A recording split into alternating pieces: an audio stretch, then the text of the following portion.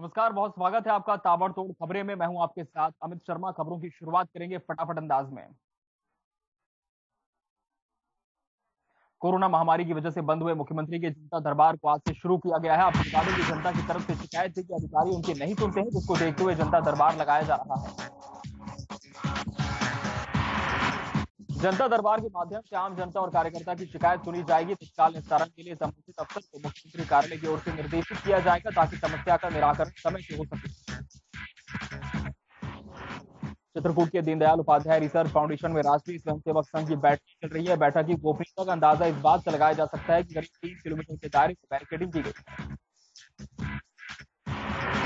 बैठक में बैठक में रियल या वर्चुअल किसी भी तरह से शामिल लोगों को हिदायत दी गई है कि वो अंदर की किसी भी बात का बाहर जिक्र न करें मंथन के दौरान देश में चर्चित सबसे अहम मुद्दों के लिए मास्टर प्लान बनाने की दिशा में काम चल रहा है यूपी एटीएस को आतंकियों के पास से कई प्रमुख शहरों के नक्शे बरामद हुए हैं अयोध्या के राम मंदिर के आसपास की रेखी के नक्शे आतंकियों के पास से मिले हैं और काशी और मथुरा जैसे धार्मिक स्थलों के नक्शे एटीएस को आतंकियों के पास से मिले हैं नक्शों में अलग अलग पॉइंट से चिन्हित किया गया है टेलीग्राम और वीडियो कॉल व्हाट्सएप कॉल की चैटिंग भी एटीएस के हाथ लगी है जिसके आधार पर जांच को आगे बढ़ाया जा रहा है एटीएस ने पिछले 24 घंटों में 10 से अधिक संदिग्धों को हिरासत में लेकर पूछताछ की है छह महीने की देरी से नई पंचायत का गठन सोमवार को हो गया जिला पंचायत अध्यक्ष और सभी सदस्यों का शपथ ग्रहण समारोह के बाद इसी सप्ताह ब्लॉक प्रमुख का शपथ ग्रहण समारोह भी होगा हालांकि अभी इसके लिए शासन आदेश का इंतजार किया जा रहा है उत्तर प्रदेश में नवनिर्वाचित जिला पंचायत अध्यक्ष और सदस्यों को आज पद और गोपनीयता की शपथ दिलाई गई शपथ ग्रहण समारोह के बाद जिला पंचायत अध्यक्ष और सभी वार्ड प्रतिनिधि अपना काम शुरू कर चुके हैं जनसंख्या नियंत्रण की नई नीति को लेकर संभल के सपा सांसद डॉक्टर शफिकुर रहमान बर्क ने बीजेपी सरकार को घेरा है उन्होंने कहा कि मोदी योगी और मोहन भागवत के बच्चे नहीं हैं और अब वो सारे हिंदुस्तान के बच्चे पैदा नहीं करने देना चाहते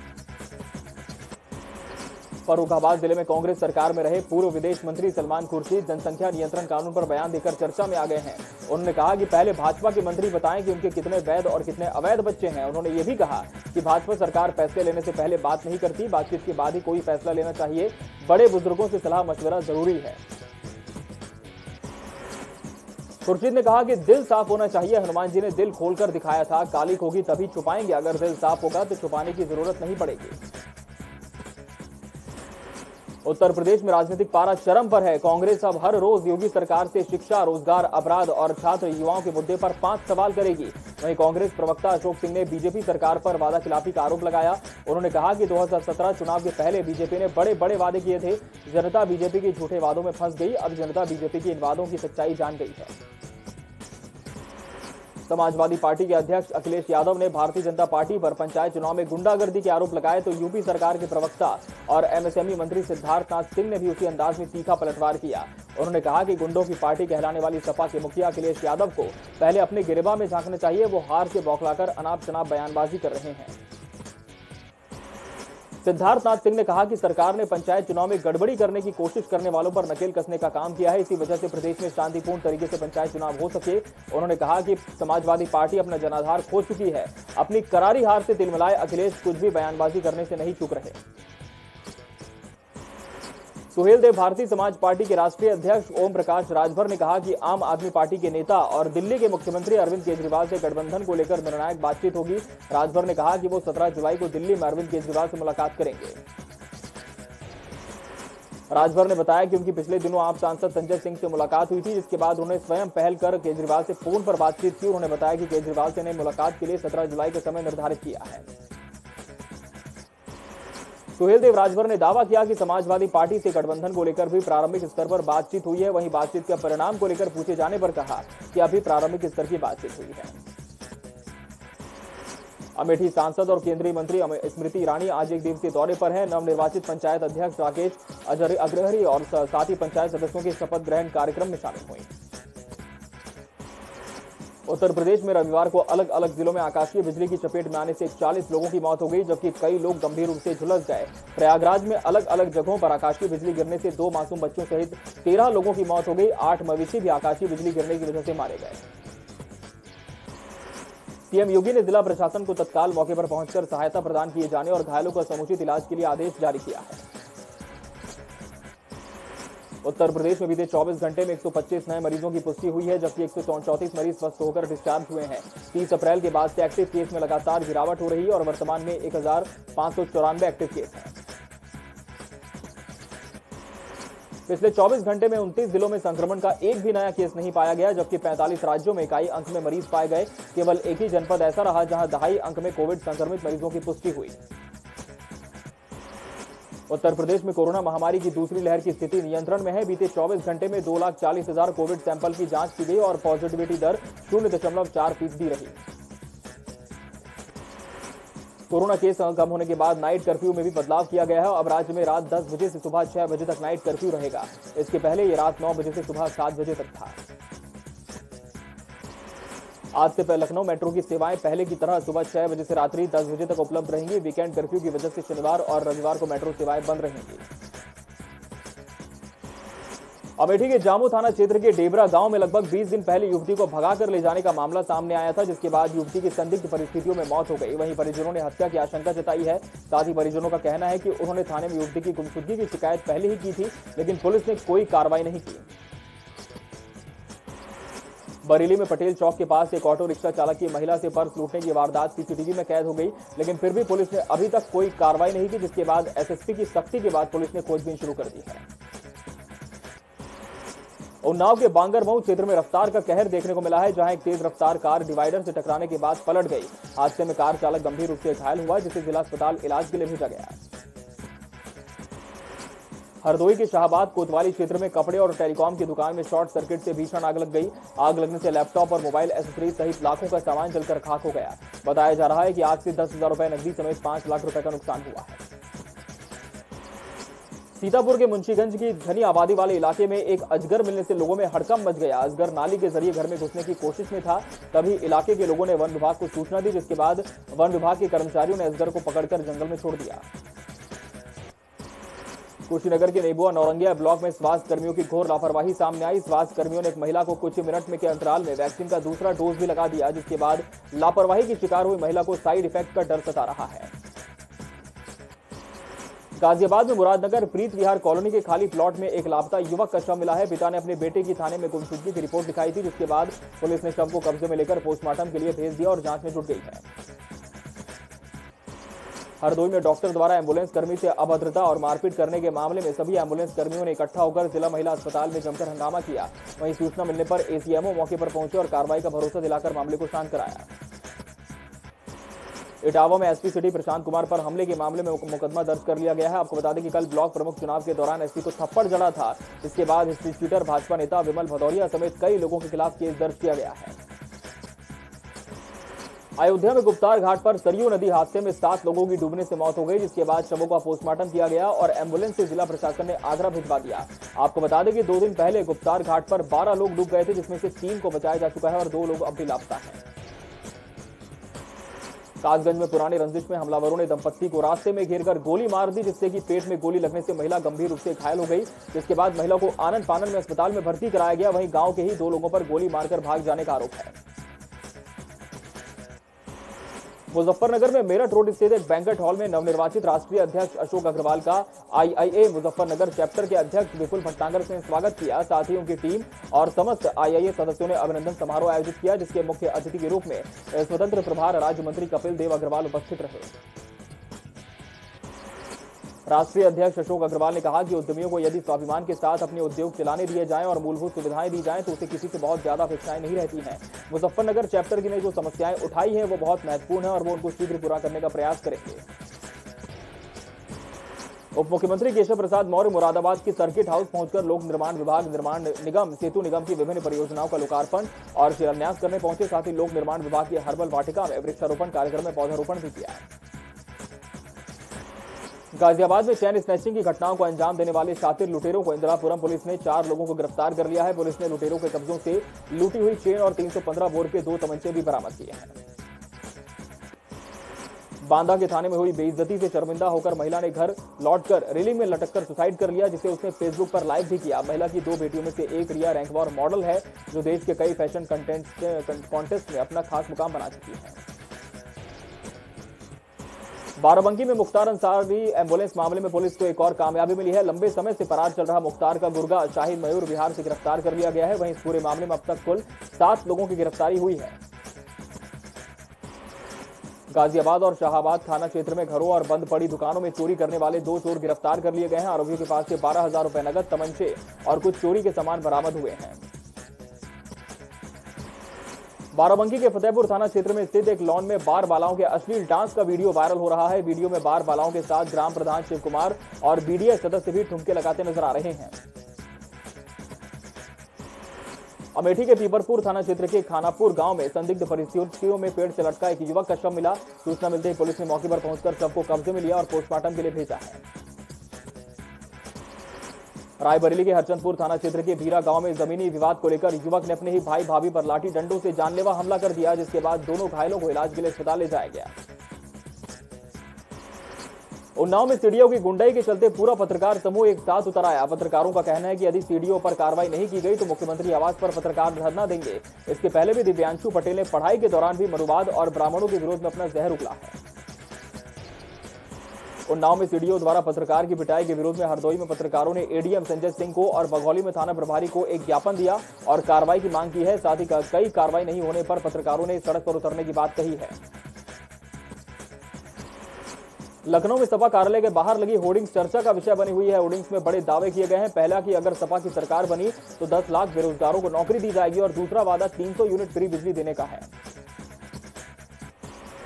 राष्ट्रीय स्वयंसेवक संघ के प्रचार विभाग हरनंदी महानगर द्वारा सोशल मीडिया के सदुपयोग विषय पर कार्यशाला का आयोजन किया गया जिसमें मेरठ प्रांत प्रचार प्रमुख डॉक्टर अनिल और गाजियाबाद विभाग के प्रचार प्रमुख मधुर द्वारा कुछ प्रमुख विषय पर चर्चा की गई बरेली में ब्लॉक प्रमुख चुनाव में हार के बाद सपा नेता ने बीजेपी विधायक बहेड़ी छत्रपाल गंगवार और पूर्व ब्लॉक प्रमुख आराम सिंह को अपशब्द कहे जिसके बाद सपा नेता गौरव के खिलाफ बहेड़ी थाना क्षेत्र में गंभीर धाराओं के तहत मुकदमा दर्ज कर लिया गया है मथुरा में नवागत जिला अध्यक्ष के लिए स्वागत समारोह का आयोजन किया गया जिस दौरान रालोस के कार्यकर्ता रामवीर भरंगर और बच्चन पहलवान के बीच लात और घूसे चले हरदोई में मामूली से बारिश के कारण जिला थाने में पानी भर गया जिसके चलते अब पुलिस कर्मियों और फरियादियों को दिक्कतों का सामना करना पड़ रहा है कानपुर देहात के थाना डेरापुर क्षेत्र में गृह कलेश के चलते युवक ने मंदिर में भगवान की मूर्ति के सामने खुद को गोली मारकर आत्महत्या करने की कोशिश की सूचना पर पहुंची पुलिस ने युवक को जिला अस्पताल में भर्ती कराया उन्नाव के बराज थाना क्षेत्र में आकाशीय बिजली गिरने से दो मासूमों की मौत हो गई दरअसल दोनों मासूम खेत में खेल रहे थे तभी यह हादसा हुआ हादसे के बाद से गांव में हड़कंप है बलिया के नकपुरा गांव में दबंगों ने गरीब असहाय परिवार का घर उजाड़ दिया परिवार भीख मांगता रहा पर उनकी एक नहीं सुने गई विरोध करने पर दबंगों ने लाठी डंडों से परिवार को पीटा जिसका वीडियो सोशल मीडिया पर वायरल हुआ बुलंदशहर के रेलवे स्टेशन पर बैठे युवक के साथ जीआरपीएफ के जवानों ने मारपीट की बताया जा रहा है कि पीड़ित युवक कसाई बाड़ा के सराय काजी का रहने वाला है वहीं मामले का पता चलने पर परिजनों ने युवक को इलाज के लिए पास के अस्पताल में भर्ती कराया जहां अस्पताल के डॉक्टरों ने उसे higher second higher centre refer कर दिया जहां उसकी हालत गंभीर है कानपुर के सगीरी थाना क्षेत्र में पुलिस ने लाखों की अवैध मछली पकड़ी है पुलिस ने मछलियों से भरे दो ट्रक पकड़े आपको बता दें कि मछली की खेप को कलकत्ता से गाजियाबाद ले जाया जा रहा था हरदोई के अरवल थाना क्षेत्र के नावपुरवा गांव में एक नवविवाहिता का कमरे के अंदर फांसी पर झूलता शव मिला ग्रामीणों की सूचना पर पहुंची पुलिस ने शव को कब्जे में लेकर पोस्टमार्टम के लिए भेज दिया है नवविवाहिता के मायके वालों ने ससुराल जनों पर पुत्री को मारकर फांसी पर लटका देने का आरोप लगाया है मृतका के भाई ने बताया कि उसकी बहन को दहेज को लेकर हत्या कर सबको फांसी पर लटका दिया उनसठ हजार शिक्षक भर्ती अभ्यर्थियों ने मुख्यमंत्री आवास पर धरना प्रदर्शन किया इस दौरान उन्होंने जमकर नारेबाजी की वहीं सुरक्षा को देखते हुए भारी पुलिस बल भी मौजूद रहा आतंकी कनेक्शन के बाद कानपुर में अलर्ट जारी कर दिया गया है जिसको देखते हुए कानपुर बॉर्डर पर चेकिंग अभियान चलाया जा रहा है और पुलिस संदिग्धों की तलाश में कई जगह छापेमारी कर रही है गोंडा के नंदौर गांव में जमीनी विवाद के चलते मौजूदा बीडीसी के परिवार का घर जेसीबी मशीन से उजाड़ दिया गया सूचना देने पर देर से आई पुलिस ने जेसीबी मशीन संघ एक को हिरासत में लिया तो वहीं समाजवादी पार्टी के पूर्व कैबिनेट मंत्री ने घटना का वीडियो वायरल कर दिया चित्रकूट के भरतकूप में नशे में धुत स्कॉर्पियो चालक ने दो बाइकों को टक्कर मार दी जिसमें छह लोग बुरी तरह जख्मी हो गए स्थानीय निवासियों ने सभी घायलों को जिला अस्पताल में भर्ती कराया आगरा के थाना अजनेरा क्षेत्र के मगुर्रा गांव में गोलियां चली जिसमें एक युवक को कमर में गोली लग गई मौके पर पहुंची पुलिस ने घायल को अस्पताल में भर्ती कराया तो वहीं पीड़ित के परिजनों ने आरोपियों के खिलाफ थाने में तहरीर दर्ज कराई हाथरस मंडी में बाजरा बेचने को लेकर दो पक्षों में जमकर मारपीट हुई इस दौरान दोनों तरफ से जमकर ईंट पत्थर चले मारपीट में दोनों पक्षों के कई लोग गंभीर रूप से घायल हो गए जिन्हें इलाज के लिए जिला अस्पताल में भर्ती कराया गया मारपीट की सूचना मिलने के बाद मौके पर पहुंची पुलिस ने चार लोगों को हिरासत में ले लिया और हिंसा को देखते हुए गांव में भारी पुलिस बल तैनात है पीलीभीत जनपद में चुनाव ड्यूटी से थकी हारी पुलिस का अमानवीय चेहरा देखने को मिला जहां दरोगा ने गर्म दूध के भगोने को ऐसी लात मारी कि दूध विक्रेता बुरी तरह झुलस गया दूध विक्रेता विकलांग है और दूध बेचकर अपने बच्चों का पालन पोषण करता है दरोगा की समानवीय हरकत को देख इलाके के लोग आक्रोशित हो गए और शेरपुर कला रोड पर जाम लगाकर पुलिस के खिलाफ विरोध प्रदर्शन किया पीलीभीत में बाघ के हमले में दो लोगों की मौत हो गई जबकि तीसरे युवक ने पेड़ पर चढ़कर अपनी जान बचाई सूचना पर टाइगर रिजर्व के अधिकारी मौके पर पहुंचे वहीं शव को कब्जे में लेकर अभी जांच पड़ताल जारी है हरदोई की शाहबाद तहसील में तैनात संग्रह सेवक ने तहसील में बने आवास में फांसी लगा ली पुलिस ने कमरे का दरवाजा तोड़कर सबको कब्जे में ले लिया वहीं पुलिस की ओर से सूचना मिलने के बाद परिजन भी मौके पर पहुंच गए कन्नौज में थाना सौरी क्षेत्र के सरदारपुर गांव में अज्ञात चोरों ने पूर्व प्रधान के घर से नकदी सहित लाखों के सामानों पर हाथ साफ कर दिया वहीं सूचना मिलने पर पहुंचे क्षेत्राधिकारी और पुलिस मामले की जांच पड़ताल में है लखनऊ में पेट्रोल और डीजल की बढ़ती कीमतों के खिलाफ कांग्रेस ने मोर्चा खोला प्रदर्शन के दौरान तांगा और रिक्शा चलाकर कांग्रेस कार्यकर्ताओं ने जमकर नारेबाजी की लखनऊ के ठाकुरगंज में से चौक तक कांग्रेसियों ने प्रदर्शन किया इस दौरान उन्होंने योगी और पीएम मोदी के खिलाफ जमकर नारेबाजी की वहीं प्रदर्शन को देखते हुए कई थानों की फोर्स मौके पर मौजूद रही प्रदर्शन के दौरान पुलिस और कांग्रेस कार्यकर्ताओं में झड़प हुई जिसके बाद पुलिस ने कार्रवाई करते हुए कांग्रेस कार्यकर्ताओं को गिरफ्तार कर लिया है पुलिस का कहना है कि कांग्रेस के कार्यकर्ता सड़क जाम कर प्रदर्शन कर रहे थे बिजनौर में स्वास्थ्य विभाग द्वारा की गई नजबंदी फेल हो गई दरअसल एक महिला ने छह महीने पहले नजबंदी कराई थी जिसके बावजूद वह गर्भवती हो गई ये मामला थाना त्योहारा के सीएचसी इलाके का है बांदा के राजकीय मेडिकल कॉलेज में ऑक्सीजन प्लांट का जिलाधिकारी आनंद कुमार शर्मा ने शुभारंभ किया ऑक्सीजन प्लांट का शुभारंभ होने के बाद जनपद वासियों को अब भटकना नहीं पड़ेगा बाराबंकी की काशीराम कॉलोनी में पत्नी को आपत्तिजनक स्थिति में देखकर पति ने चौथी मंजिल से फेंक दिया जिससे पत्नी की मौके पर ही मौत हो गई पुलिस आरोपी पति को गिरफ्तार कर मामले की जांच में जुट गई मुख्यमंत्री पुष्कर सिंह धामी ने कांवड़ यात्रा को लेकर बड़ा बयान दिया और उन्होंने कहा कि बात आस्था की है लेकिन लोगों की जिंदगी भी दांव पर है भगवान को भी अच्छा नहीं लगेगा यदि लोग कांवड़ यात्रा के कारण कोविड से अपनी जान गंवाते हैं हरिद्वार के बहादराबाद टोल प्लाजा पर किसानों ने एक प्रेस वार्ता आयोजित कर धरने पर बैठे किसानों पर किए गए जानलेवा हमले की साजिश का आरोप लगाया साथ ही पुलिस प्रशासन पर कई गंभीर आरोप लगाए कैबिनेट मंत्री सतपाल महाराज ने उत्तराखंड युद्ध स्मारक चौर स्थल पर शहीद सैनिकों के सम्मान में चंदन वृक्षारोपण किया वहीं शहीदों को श्रद्धा सुमन अर्पित करने के लिए महाराज ने कहा कि शहीद वीरों की स्मृति चंदन के समान समाज को प्रेरित और सुगंधित करती रहे यही इस चंदन वृक्षारोपण की भावना है दिल्ली के मुख्यमंत्री अरविंद केजरीवाल उत्तराखंड में आम आदमी पार्टी की सरकार आने पर 300 यूनिट बिजली मुफ्त देने की घोषणा कर चुके हैं वहीं दूसरी तरफ बीजेपी सरकार के ऊर्जा मंत्री हरक सिंह रावत पहले ही कैबिनेट में प्रस्ताव लाकर 100 यूनिट बिजली मुफ्त देने का ऐलान कर चुके हैं महिला से लूटपाट करने वाले बदमाशों की देर रात पुलिस से मुठभेड़ हुई मुठभेड़ के दौरान पुलिस की ओर से की गई फायरिंग में एक बदमाश घायल हो गया जिसे उपचार के लिए जिला अस्पताल में भर्ती कराया गया मुठभेड़ के दौरान दूसरा बदमाश मौके का फायदा उठाकर फरार हो गया आपको बता दें कि बदमाशों ने रुड़की और देहरादून में महिला से लूटपाट की थी वहीं पुलिस की ओर से घेराबंदी के बाद आरोपियों ने जंगल में शरण ले रखी थी और अब खबरें विस्तार से देखेंगे मुख्यमंत्री योगी आदित्यनाथ ने नई जनसंख्या नीति 2021 से 30 जारी कर दी है जिसमें नवजात मृत्यु दर और मातृ मृत्यु दर को कम करने की कोशिश है 11 से 19 वर्ष के किशोरों के पोषण शिक्षा और स्वास्थ्य के बेहतर प्रबंधन की व्यवस्था भी की जाएगी ऐसे में क्या है इस पूरी नीति का मसौदा देखिए खास रिपोर्ट में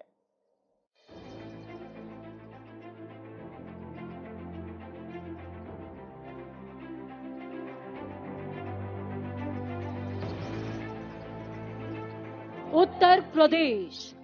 देश का सबसे ज्यादा आबादी वाला राज्य जहां की जनसंख्या तय करती है देश की राजनीति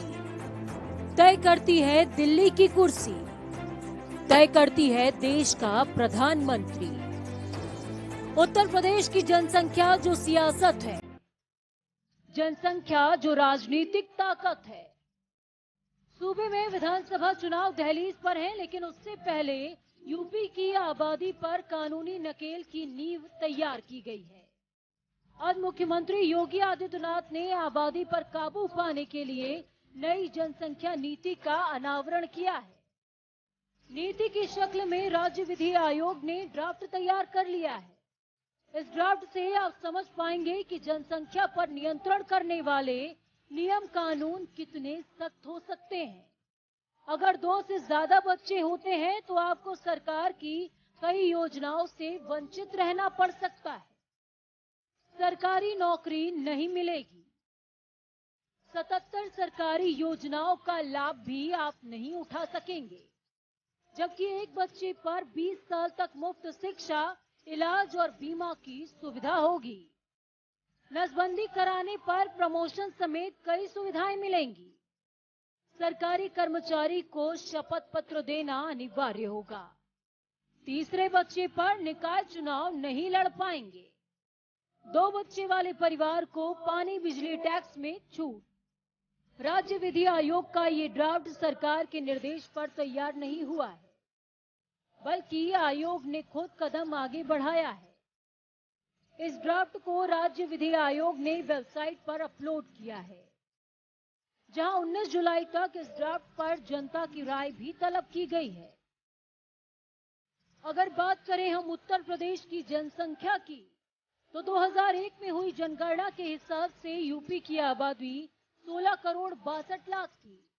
जिसके बाद जनगणना रिपोर्ट में 2011 में 20 करोड़ के ऊपर पहुंच गई ये आबादी लगातार तेजी से बढ़ रही है कानून के मौजूदा ड्राफ्ट के मुताबिक ये विधेयक राजपत्र में प्रकाशन की तारीख से एक साल बाद लागू होगा लेकिन ये जनसंख्या बड़ी समस्या बनकर सामने आ रही है अस्पतालों में बेड हो या फिर शिक्षा रोजगार की समस्या हो या फिर अपराध सब इस जनसंख्या विस्फोट के हिस्से हैं विधि आयोग की माने तो विकास के लिए जनसंख्या नियंत्रण बेहद जरूरी है जिसे अब सरकार भी कह रही है कि विकास तभी होगा जब जनसंख्या पर नियंत्रण होगा ये बढ़ती हुई जनसंख्या विकास में कहीं न कहीं बाधक हो सकती है जिन देशों ने और जिन राज्यों ने इस संबंध में अपेक्षित प्रयास किए उसके बाद सकारात्मक परिणाम के सामने देखने को मिले इसी परिप्रेक्ष्य में आज विश्व जनसंख्या दिवस के मौके पर उत्तर प्रदेश की योगी आदित्यनाथ सरकार ने 2021-30 के लिए नई जनसंख्या नीति की घोषणा की है ये नीति ऐसे समय पर लाई गई जब राज्य में अगले साल विधानसभा चुनाव होने वाले हैं। ऐसे में ये मुद्दा चुनाव से पहले राजनीतिक मुद्दा जरूर बनने वाला है जनता टीवी के लिए विशाल त्रिपाठी की रिपोर्ट इसी के साथ इस बुलेटिन में फिलहाल इतना ही खबरों का सफर लगातार जारी है जनता टीवी पर नमस्कार